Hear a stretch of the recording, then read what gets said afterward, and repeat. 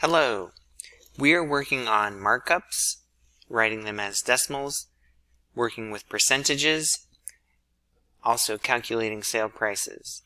So for this math story, we have our very own Deagan. Deagan runs a surf shop. He's the most famous surfer in all of Southern California. Here's how he gets his money. He buys a surfboard, and then he marks them up 75%. So A, write the markup as a decimal. So here's your 100%. This is the price that Deagan pays to buy the surfboards. And then he taxes 75% on top of that. But that, 75%, that's the markup. Okay, so you want to write just the markup as a decimal. Remember, when you're going from percent to decimal, you divide by 100. So divide 75 by 100, and you get 0.75. Remember also to multiply by S. S is the price of the surfboard. So this is the markup right here. 0.75 times S. Write two expressions for the sale price of the surfboard.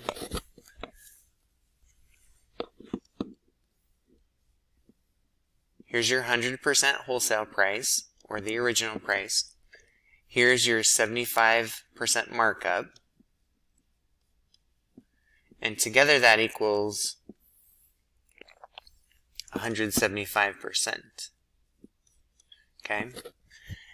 And now step, this is step one when you're working with decimals and percents. Step two is to multiply the decimal by the original number.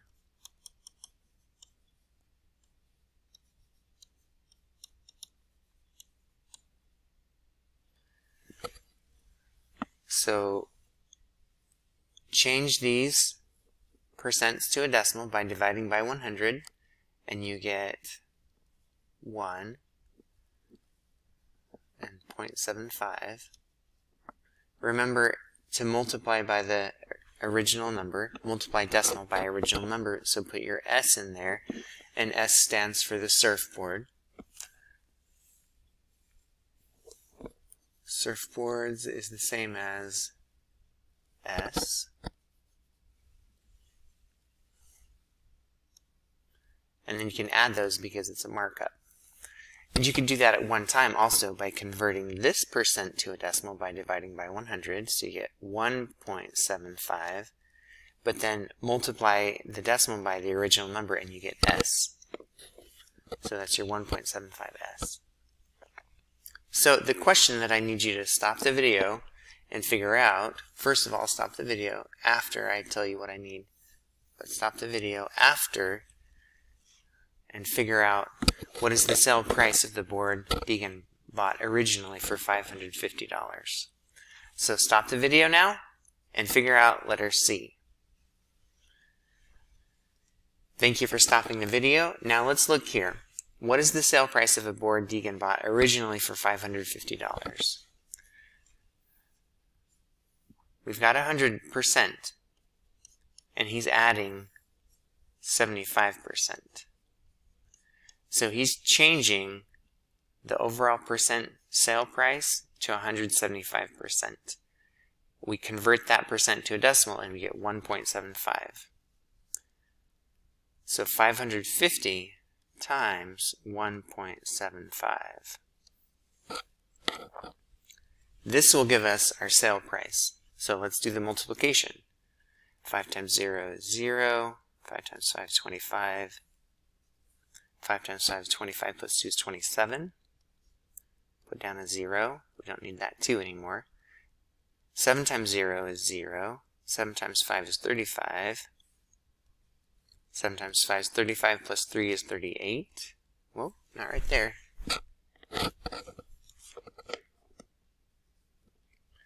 And then 0, 0, because I'm multiplying by the 1 there.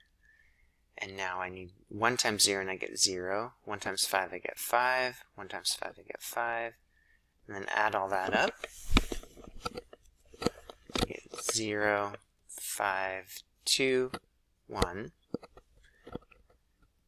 2 plus 8 is 10, plus 1 is 11, plus 5 is 16. 1 plus 3 plus 5, that looks like it's going to be 9. And we have two decimal places, so 960 to 50 is how much Deagan charges for his surfboards. So how much money did he profit? Before we figure out letter D, I want you to stop the video and work on letter D. But let's double check letter C and see if we did the work correctly. So 550 times 1.75.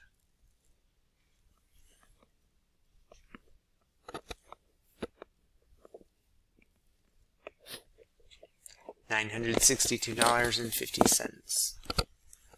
Yes. Now, how much profit did Deagan? How much money did Deagan profit?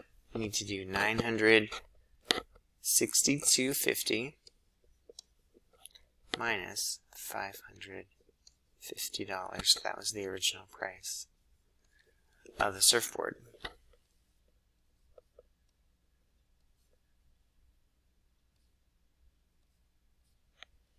So Deagan profits $412.